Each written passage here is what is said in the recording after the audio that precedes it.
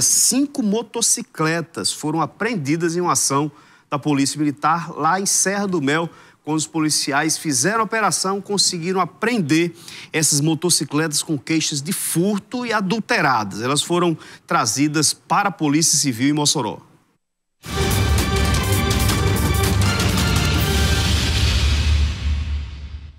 Uma operação montada em Serra do Mel conseguiu apreender cinco motocicletas adulteradas e com queixas de furto.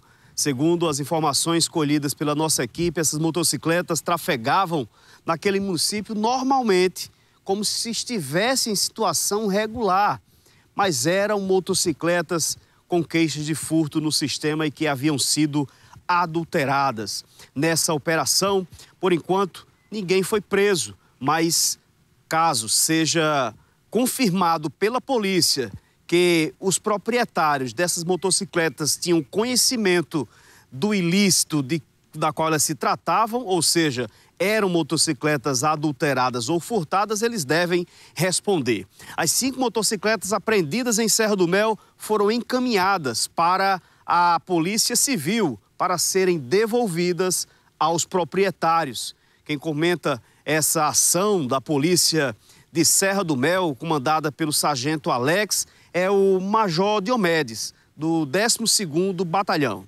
Essa ocorrência foi liderada pelo 2 Sargento Alex, que vem desenvolvendo um trabalho muito bom na Serra do Mel, e através de levantamento com sua equipe, com seus policiais, ele começou a detectar que havia vários veículos na região em situação de irregularidade. Feito esse levantamento, foi montada então uma operação para que pudesse aprender simultaneamente é, uma quantidade cada vez maior de veículos e evitar, assim, que outros veículos se evadissem do local. É, nessa operação aí, comandante, alguma pessoa foi detida, encaminhada para algum procedimento? Infelizmente, só foi possível apreender os veículos, mas a partir da apreensão desses veículos está sendo feito um outro levantamento para chegar até os proprietários que tanto cometeram furto como também receptaram esses veículos roubados. Todos eles eram furto ou roubo, comandante?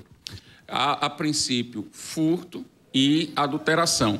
Como a situação de, de, de, alguns veículos estava em situação de irregularidade, ou seja, com numeração ou com placa adulterada, é preciso primeiro fazer um levantamento junto da Delegacia de Polícia Civil para chegar à real identificação desses veículos e, a partir daí, os seus proprietários.